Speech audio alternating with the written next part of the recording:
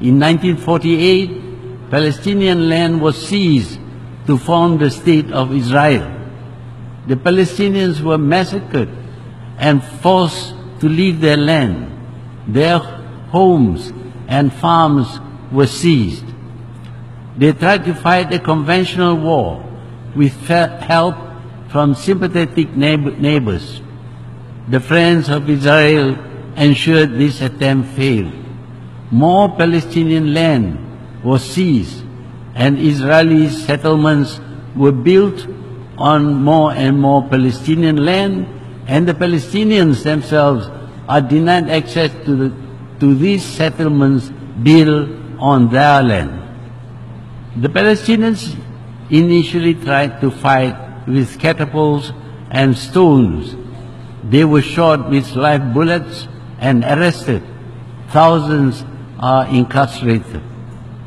Frustrated and angry, unable to fight a conventional war, the Palestinians resort to what we call terrorism.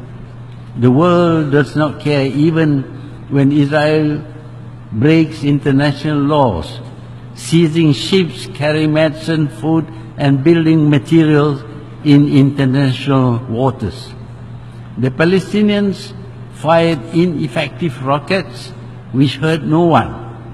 Massive retaliations were mounted by Israel, rocketing and bombing hospitals, schools, and other buildings, killing innocent civilians, including school children and hospital patients, and more. The world reward Israel deliberately by deliberately provoking Palestine by recognizing Jerusalem as the capital of Israel. It is the anger and frustration of the Palestinians and their sympathizers that caused them to resort to what we call terrorism.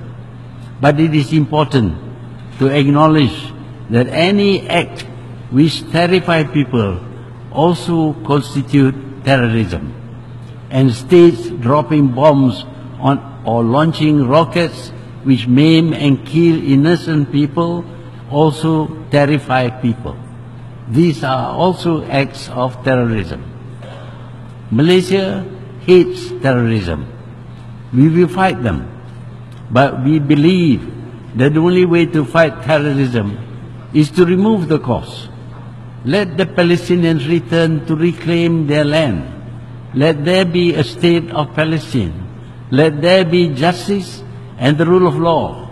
Warring against them will not stop terrorism, nor will out-terrorizing them succeed we need to remind ourselves that the United Nations organization, like the League of, League of Nations before, was conceived for the noble purpose of ending wars between nations.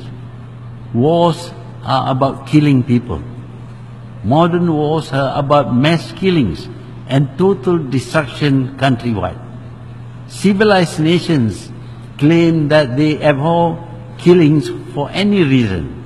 When a man, a man kills, he, he commits the crime of murder. And the punishment may be death.